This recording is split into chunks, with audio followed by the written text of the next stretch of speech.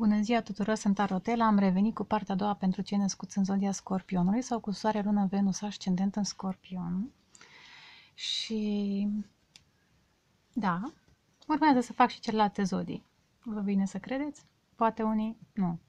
În fine, acestea sunt cărțile care v-au uh, apărut în relație cu persoana care v-a, v-a fost uh, în gând, în suflet, în ultima vreme, am senzația că este vorba de o persoană cu care terminați o relație. Cărțile acestea simt că explică o poveste care i-a sfârșit. Să vă explic imediat de ce. Aici sunteți voi, aici sunt ei, aici energia comună. Ce simțiți, ce gândiți și cum acționați, la fel, ce simt, cum gândesc și cum acționează. Și spun că este vorba de o poveste care ori a sfârșit, ori se restructurează, pentru că aveți și turnul, de două ori, o să vă arăt. Acum să vă explic. Ce simțiți voi? Am senzația că vreți să lucrați cu voi înșivă. În aprilie, sau poate chiar din martie, ați început să lucrați cu voi înșivă. Să vă apreciați sufletul și să vă apreciați experiența și să investiți în dezvoltarea voastră spirituală și nu doar spirituală, materială. Unii dintre voi vă concentrați energiile și ce, ce bine se concentrează scorpionii când vor, toată energia, tot magnetismul, tot ce aveți mai bun, vă concentrați pe un proiect care poate deveni un, uh, sau poate avea un rezultat final deosebit. După cum vedeți, acest om lucrează la o sculptură. Dacă ați fost într-un trio în ultima vreme în relația cu acest uh, om, persoană, ce-o fi, îi lăsați pe cei doi să se ducă unde vor, să stea în relația lor cum vor și voi vă concentrați pe voi înșivă.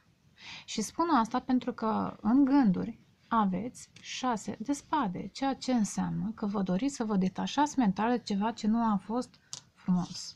Și haideți să vă arăt ce aveți aici, la capătul acestui set de cărți. Diavolul, da? Diavolul. E clar că voi vreți să lăsați în urmă ceva ce a fost toxic. Um, și dacă până acum diavolul v-a tratat cu răceală, da? v-a ținut la distanță, v-a lăsat de izberiște pe cine? Pe voi, regele de cupe. Da? Și să vedeți de ce? Pentru că era obișnuit să mintă, să se ascundă, să nu își arate adevărata față. Ei, regele de cupe a suportat, a acceptat, a răbdat, a așteptat ca celălalt să se trezească și până la urmă a hotărât că e cazul să se concentreze nu neapărat pe bani, cât pe niște proiecte care îi pot aduce abundență în timp, niște proiecte frumoase, inclusiv acela de a vă reconstrui, remodela sufletul. Repet, vreți să vă duceți către tărâmuri mai calde, către locuri bucuroase, locuri vesele, locuri în care vă, vă simțiți bucuroși, alături de prieteni. Cum acționați? Patru de bâte. Patul este aprilie. Da? Bâtele sunt semne, reprezintă semn de foc.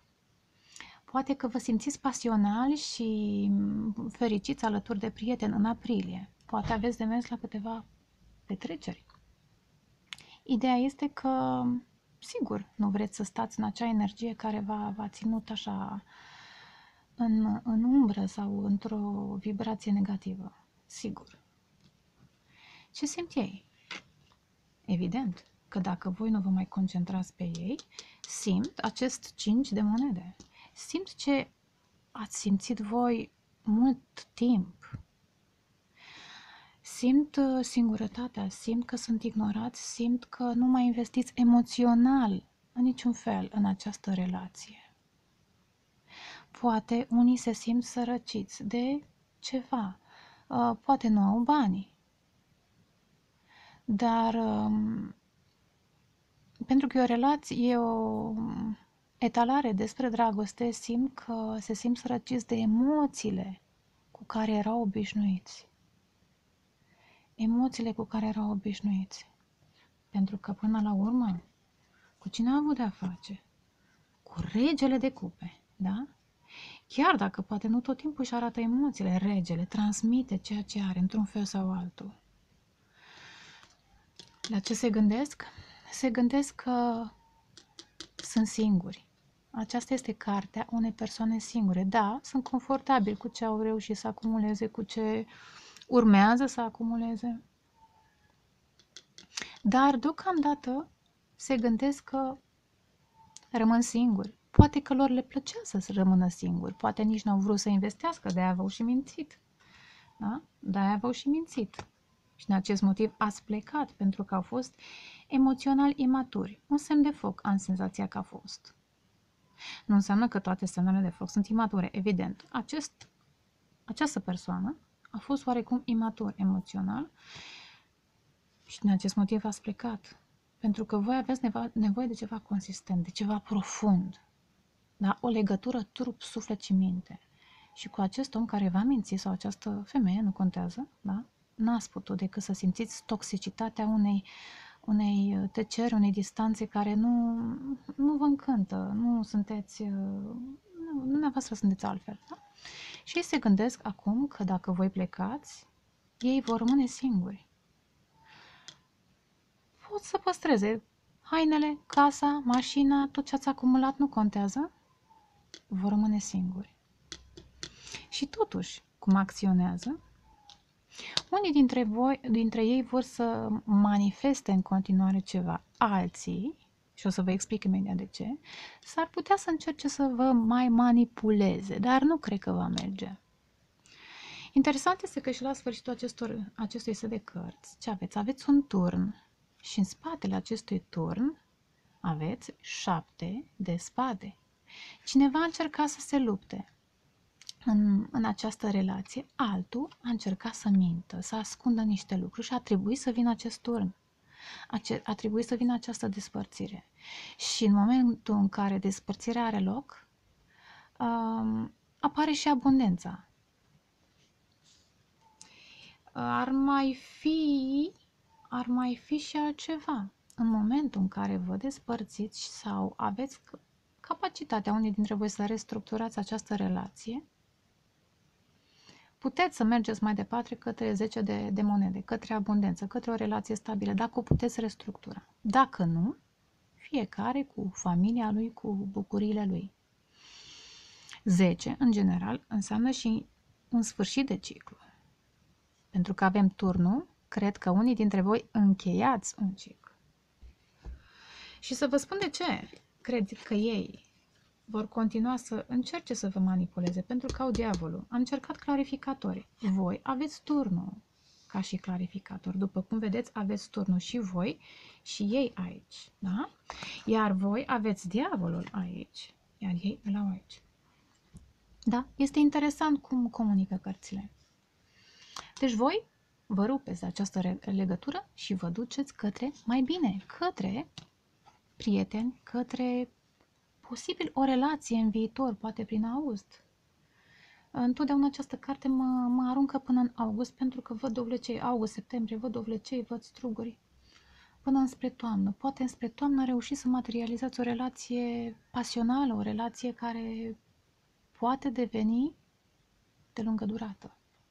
Oricum, plecați, repet, plecați către o zonă caldă, poate în concediu, Poate vă simțiți bine doar cu prietenii, cu familia. Iar ei, repet, ar fi putut să manifeste un nou început, ar fi, ar fi putut să încerce să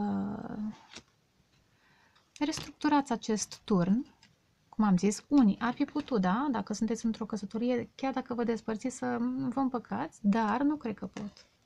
Pentru că acest diavol deja accentuează noțiunea de manipulator manipulator. Poate vor să vină în viața voastră, să-și ceră scuze, eu știu ce alte lucruri să facă să vă recâștige atenția, dar nu cred că mai merge.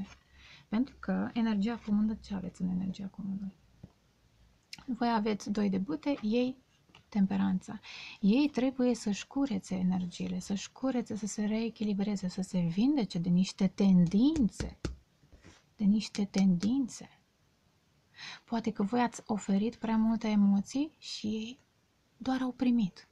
Și acum, da, e cazul să, să lucreze cu ei înșiși, să-și redescopere spiritualitatea. Voi deja lucrați cu voi, după cum am spus. Voi vă setați intențiile acum că vine luna nouă, vine luna nouă pe 4 aprilie, da? Vă setați intențiile către un viitor, un viitor mai bun, da? Un viitor mai bun. Și dacă tot nu înseamnă despărțire, înseamnă și restructurare. Vă resetați, restructurați viața după alte principii, după alte interese. Priviți viitorul cu alți ochi și vedeți ceva în globul ăsta. Vedeți un potențial către care vă simțiți pasional să, să mergeți. Hmm, hai să mai tragem cu o carte. Deci,